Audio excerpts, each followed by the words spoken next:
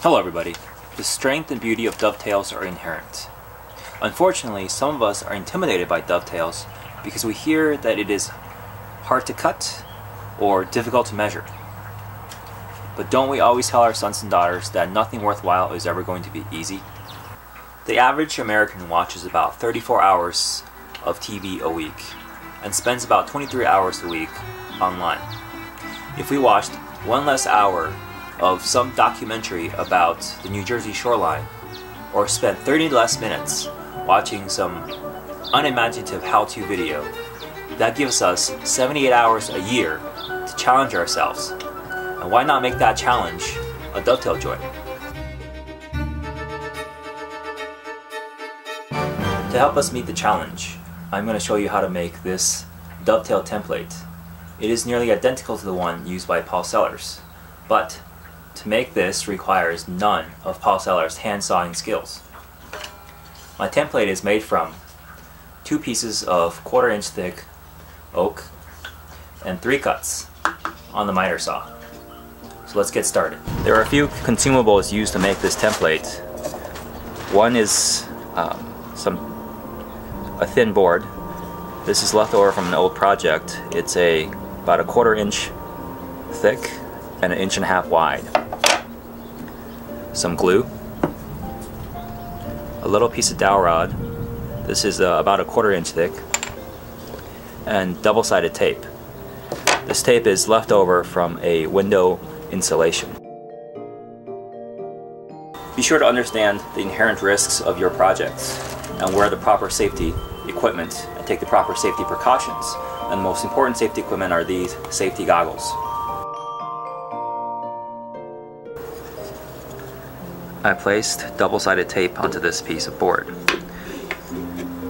I'm actually going to use the fence on my miter saw to help me align these two so that they fit in together perfectly. And then I'm going to take this tape off and slowly ease this up, make sure that this top is nice and flush.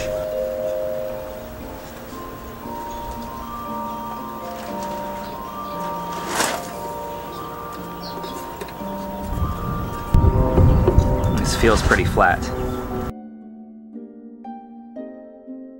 At the one end I've made two marks. The distance between these two marks is about one and a half inches. And this is approximately the 8 degree lines that I'm going to cut. I've secured the pork piece into the miter saw and the saw has been set to 8 degrees. If you're off by a degree or two, it doesn't really matter. So I'm ready to make my first cut. Don't forget these and these.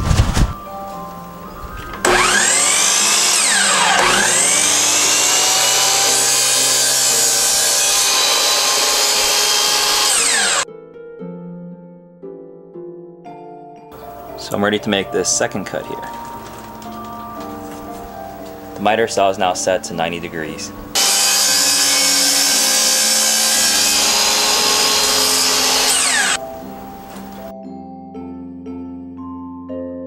For my final cut, I'm going to cut a piece here that's approximately 6 inches long.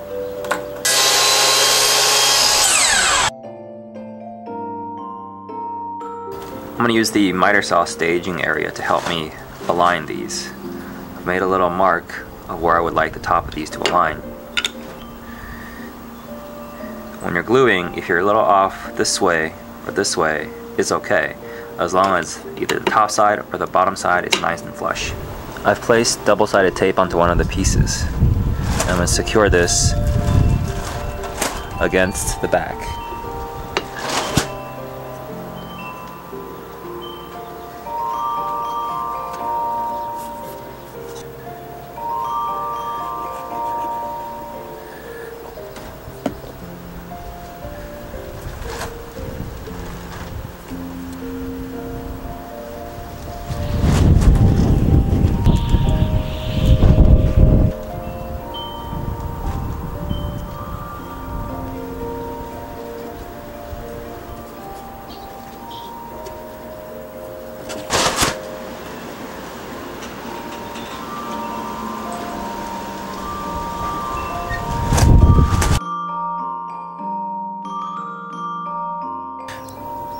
Going to remove the excess glue with my chisel here.